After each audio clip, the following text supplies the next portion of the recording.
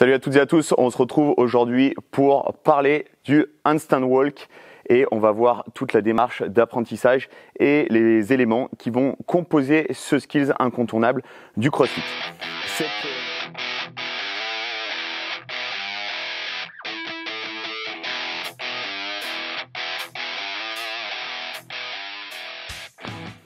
euh, vidéo fait également écho à de nombreux posts que j'ai pu euh, voir ces jours-ci avec euh, que ce soit des tutos, des tips pour l'apprentissage de ce fameux instant walk et la problématique qu'on rencontre dans bon nombre de ces posts, c'est l'utilisation finalement d'exercices plus ou moins communs et qui vont être plus ou moins intéressants dans la démarche. Même parfois, certains, certains exercices qui vont être avancés et utilisés euh, seront presque plus, euh, plus contre-productifs pardon, par rapport à la manière dont ils sont réalisés et à la manière dont ils sont apportés euh, dans la démarche. Et la problématique, la deuxième problématique, c'est que la plupart du temps, euh, dans, ce type de poste, on retrouve des gens qui vont utiliser donc des exercices, mais qui ne sont pas en mesure de justifier dans la démarche d'apprentissage, et ça se voit tout de suite. Donc dans cette vidéo, j'ai l'habitude, euh, maintenant pour ceux qui me suivent, vous me connaissez, vous savez comment je procède. Je vais vous expliquer toute la démarche euh, d'apprentissage et les différents paramètres qui vont vous permettre d'améliorer votre instant walk. Et pour ce faire, je vais utiliser des arguments qui se baseront sur la physiologie, sur l'anatomie et sur la biomécanique. Car rappelons-le, la gymnastique est, un, est une discipline faisant appel de manière éminente à euh, la biomécanique et à la précision du geste dans euh, sa globalité. Donc on va euh, tout de suite euh, débuter cette euh, vidéo en rappelant quelques petits prérequis indispensables à l'apprentissage du handstand walk. Et je vais débuter donc mon, exposé et mon argumentation en reprenant une phrase que j'entends très souvent, que ce soit de la part de coachs, d'athlètes, qui me disent c'est pas forcément indispensable, il n'est pas forcément nécessaire de savoir faire du handstand hold pour pouvoir faire du handstand walk. Alors, moi, en principe, sur, ce, sur, cette, euh, sur, cette, affirmation, je repose toujours une question euh, en contrepartie en disant, lorsque tu as appris à marcher, est-ce que tu t'es mis debout et tu as débuté la marche? Je vous laisse trois secondes pour méditer. Absolument pas. La première chose que vous avez fait lorsque vous avez commencé, lorsque vous avez débuté à marcher, environ à l'âge de, de 1 an, en moyenne, hein, bien entendu, certains ont été plus précoces et d'autres ont été un petit peu plus tardifs, mais de manière euh, globale, lorsque vous avez euh, euh, été en capacité à pouvoir vous mettre debout, la première chose que vous, avez, que vous avez fait avant même de vous déplacer, c'est de vous mettre en position debout et d'essayer de trouver l'équilibre avant même de créer un déséquilibre pour apprendre la marche. Donc ça, c'est l'un des premiers éléments fondamentaux. C'est euh, que très souvent, on a tendance à vouloir euh, négliger un petit peu le travail euh, autour du handstand hold et du coup, bah, par la suite, ça va poser des complications. Alors pourquoi on va négliger le handstand hold? Parce que bien entendu, c'est beaucoup plus fun de marcher sur les mains que de faire du handstand hold. Néanmoins, c'est une étape indispensable par laquelle il va falloir que vous passiez pour pouvoir euh, maîtriser le handstand walk et pour pouvoir surtout maîtriser la suite du handstand walk, c'est-à-dire que marcher au sol dans une situation euh, assez basique sur une situation sur un plan euh, plat finalement que représente le sol, ça va être assez simple, mais lorsque vous allez devoir commencer à franchir des obstacles et devoir commencer à, incorporer euh, des skills un petit peu plus précis, comme on a pu voir notamment au CrossFit Games euh, cette année avec euh, la pirouette complète en handstand qu'on appelle plus communément la valse, et ben là vous allez vous retrouver très vite en difficulté. Alors l'argument que j'entends également très souvent, c'est oui, mais Rich Froning, par exemple, lui, il n'a pas un super handle et ça l'empêche pas de courir sur les mains. Oui, oui, oui, bien sûr, vous avez tout à fait raison. Sauf que vous comparez à Rich Froning, ça me paraît quelque peu illusoire et presque même euh, indécent, dans le sens où vous n'avez pas euh, les qualités physiques de Rich Froning et euh, vous n'avez pas ses qualités physiques et ses qualités neurologiques. Donc n'essayez pas de vous comparer à des personnes avec qui il est absolument impossible de se comparer. Parce que si moi je vous renverse l'argument inverse, c'est oui, mais regardez, l'ensemble des gymnastes savent faire du handstand hold et apprennent le handstand hold avant même de faire du handstand walk. Donc ça, ce genre d'argument, c'est pas c'est pas recevable. Et euh, comme je vous l'ai euh, précisé juste avant, avant de, commencer à marcher sur vos jambes, vous avez dans un premier temps commencé à vous mettre debout et à trouver l'équilibre. Donc ça, c'est un élément qui est vraiment incontournable.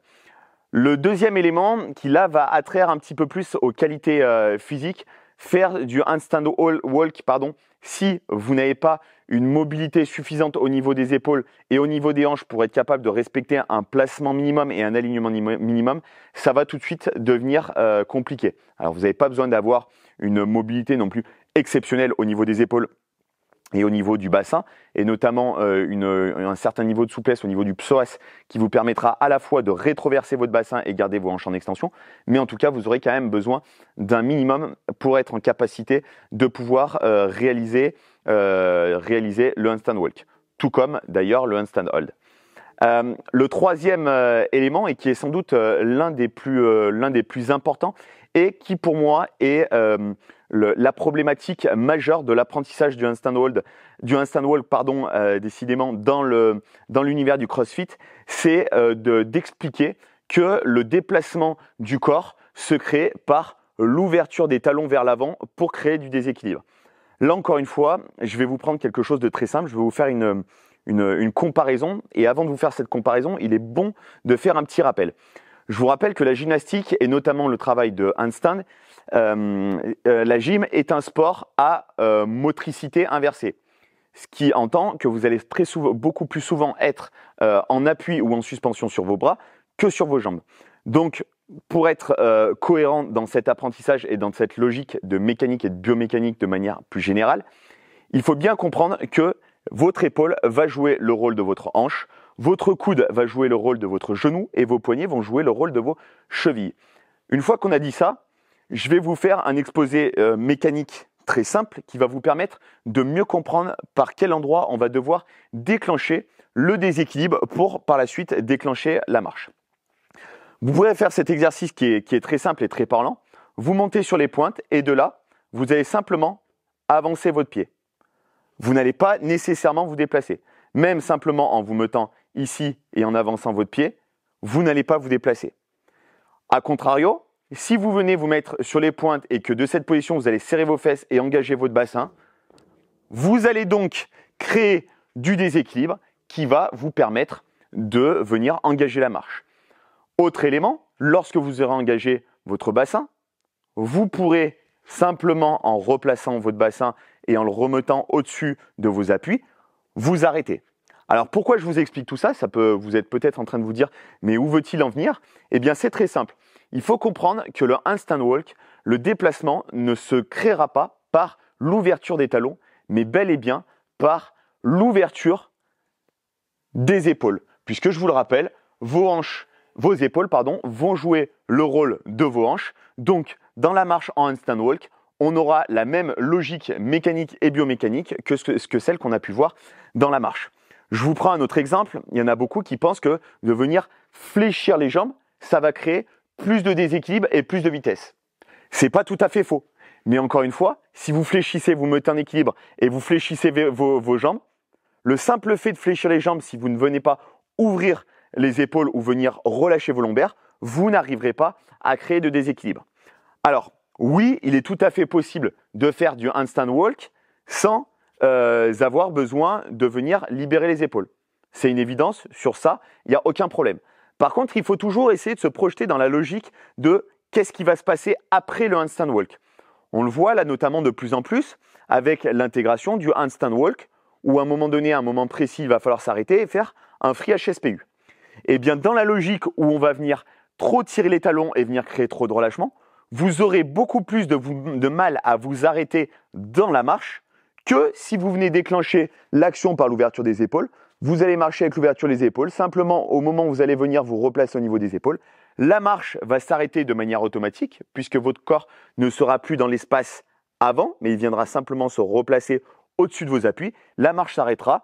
Vous ne perdrez pas le contrôle et donc de l'énergie à venir euh, réaligner votre handstand puisque l'action se générera tout simplement au niveau des épaules. Donc encore une fois, comme j'ai dit au début de, cette vidéo, euh, beaucoup de personnes ont tendance à vouloir faire des tutoriels et euh, donner des tips euh, sur, un, sur un en, en, essayant de voir ce qui se fait et en essayant de reprendre des exercices un petit peu de, de manière hasardeuse, mais n'ont aucune justification. je vous apporte là vraiment une justification mécanique et, biomécanique qui est absolument euh, incontestable. Ce que je suis en train de vous, expliquer, vous pouvez euh, m'apporter la preuve par A plus P, c'est de la biomécanique de base, c'est incontestable ce que je suis en train de vous expliquer. D'autant plus que ce que je vous explique, c'est que dans ma méthodologie et dans mon approche du handstand walk et dans la méthode qu'on a de manière globale dans le milieu de la gymnastique, c'est d'être capable de toujours se projeter sur que va-t-il se passer par la suite et que va-t-on pouvoir intégrer par la suite comme euh, type de skills. Et là, encore une fois, je vous ai fait la démonstration que si vous voulez coupler le handstand walk avec un autre élément et être en mesure de vous arrêter pour pouvoir, par exemple, enchaîner un free HSPU, l'ouverture des épaules fera donc une grande différence. Donc, tous ces éléments, la maîtrise du handstand hold avec la maîtrise de l'ouverture euh, des épaules pour passer de la, de la situation de, de, de handstand où on est parfaitement en équilibre à la notion de je bascule le corps dans l'espace avant pour me déplacer, se passera véritablement au niveau des épaules. Alors encore une fois, euh, c'est quelque chose que j'entends très souvent et j'en ai parlé tout à l'heure. Oui, mais Rich Froning, oui, mais un tel, oui, mais un tel. Encore une fois, vous n'avez pas les mêmes capacités, vous n'avez pas les mêmes qualités. Et euh, l'objectif dans votre apprentissage, c'est que vous appreniez une forme qui soit la plus, euh, la plus propre possible pour ensuite, en effet, être capable de générer. Il est évident que lorsque vous allez être en compétition, que vous allez vouloir chercher à mettre de la vitesse sur, par exemple, du simple instant walk, le fait d'avoir les jambes parfaitement tendues, parfaitement collées euh, et les pointes de pied parfaitement tendues, ça n'aura pas grand intérêt, si ce n'est que ça vous prendra peut-être beaucoup plus d'énergie que le fait d'avoir les jambes un petit peu plus relâchées pour essayer de maintenir l'équilibre, le fameux euh, balance. Donc, pensez toujours, ne pensez pas apprentissage euh, pour le WOD, mais pensez apprentissage pour maîtriser le skill et être capable d'évoluer, et ensuite vous l'intégrez dans un WOD. Alors, euh, dans la suite logique de ce que j'ai pu euh, vous expliquer tout à l'heure, euh, notamment avec la démarche de venir ouvrir les talons pour créer le, déplacement, et c'est un exercice que je, que je vois beaucoup sur les, sur les réseaux sociaux, mais que je vois également beaucoup lorsque je me déplace dans les box ou par l'intermédiaire de coaching, c'est l'utilisation du PVC pour apprendre le handstand walk. Alors, comme je vous l'ai expliqué, l'action du handstand walk ne se déclenche absolument pas par les talons et la problématique de venir utiliser donc le PVC, c'est que vous allez venir générer une ouverture, vous allez venir créer un point d'appui dynamique sur le PVC pour venir avancer. Ça va poser deux problèmes. Le problème, c'est que ça va vous permettre de, ça va vous faire euh, créer un relâchement, pardon, soit au niveau des talons, soit au niveau des lombaires, voire même les deux en même temps, et vous ne libérerez plus du tout la marche par l'ouverture des épaules. Donc ça, c'est la première, euh, la première euh, problématique. Et la deuxième problématique, c'est que le jour où on va vouloir vous enlever le PVC, vous aurez tellement pris l'habitude de venir créer un point d'appui dynamique que vous allez avoir l'appréhension puisque vous n'aurez plus cette action qui vous permettait d'avancer précédemment puisque le PVC ne sera euh, tout simplement plus là.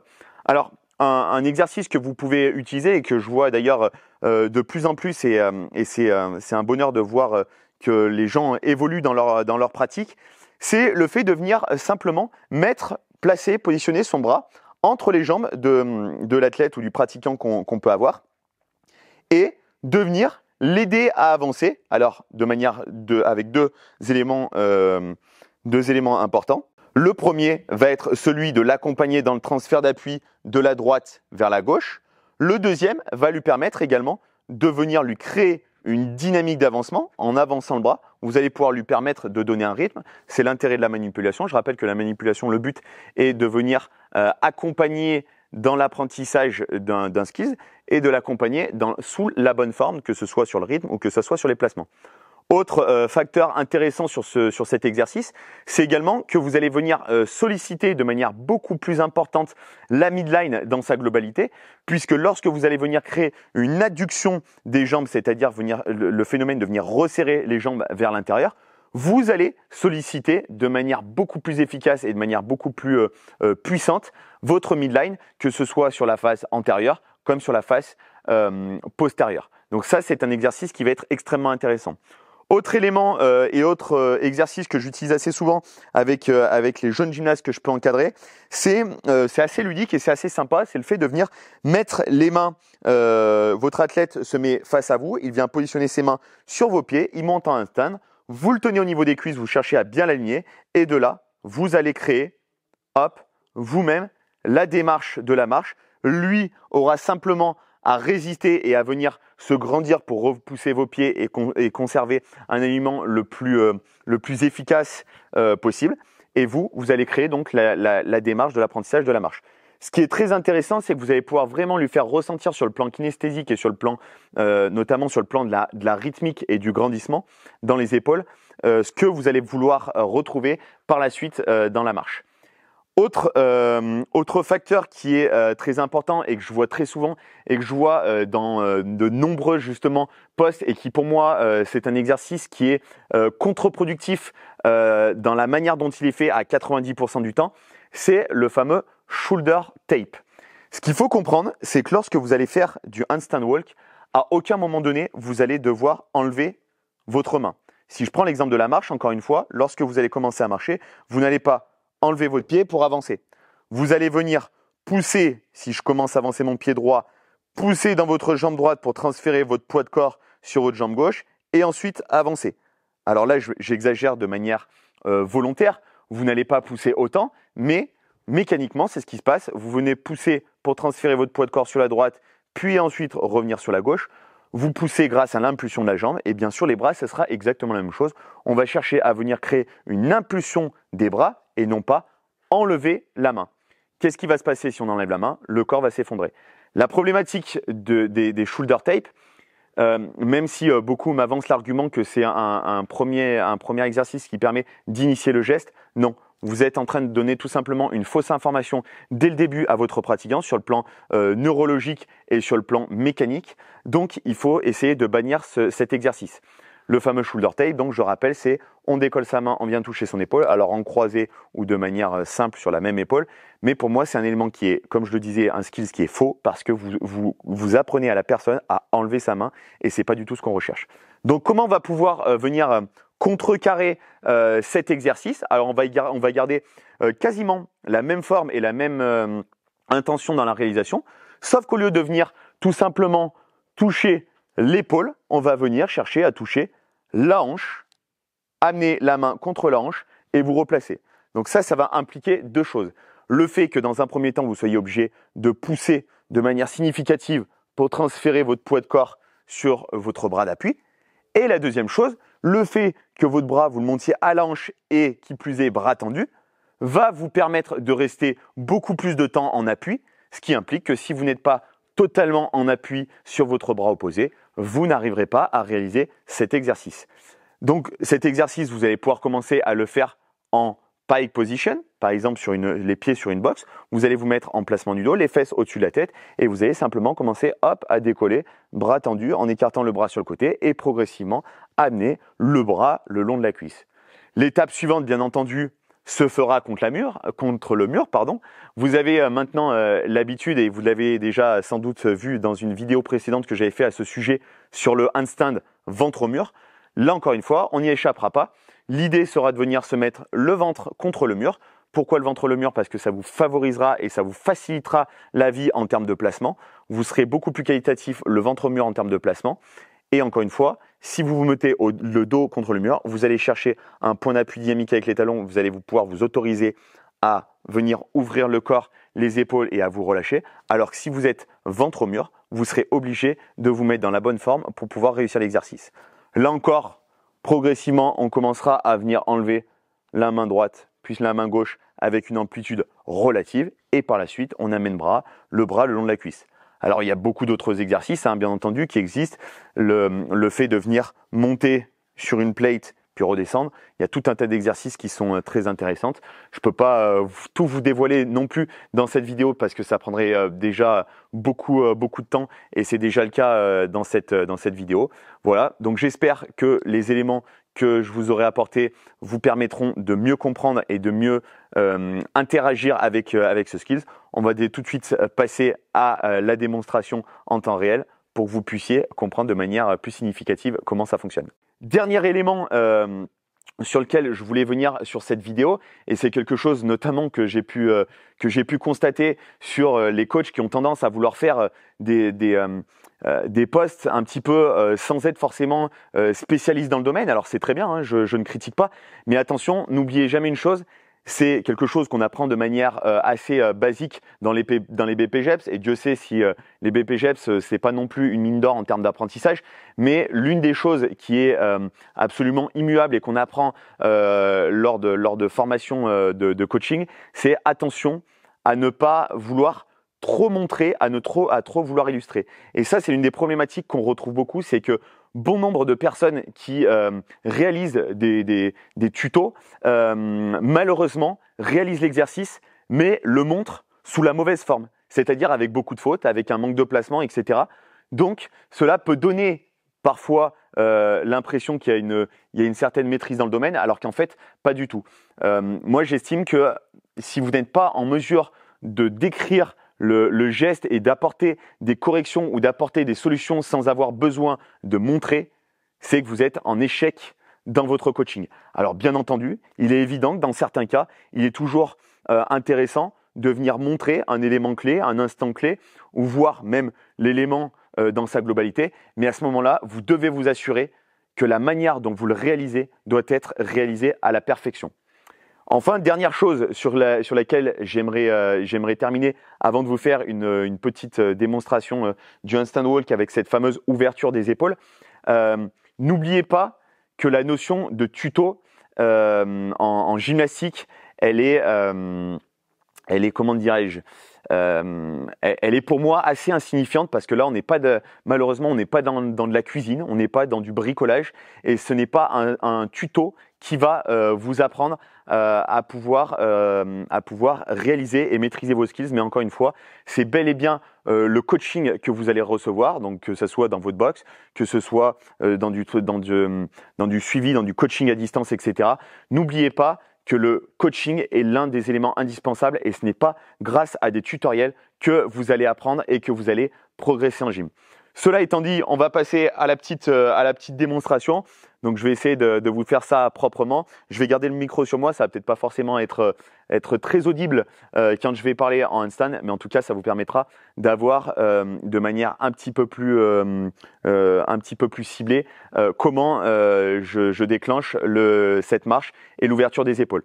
Encore une fois, je viens de le dire, c'est pas bien de montrer, mais là on est sur un élément que je maîtrise euh, plutôt bien et sur lequel je sais qu'il n'y aura pas euh, nécessairement beaucoup de fautes de placement, donc je peux me permettre de vous le montrer. Allez, c'est parti, on passe à l'action.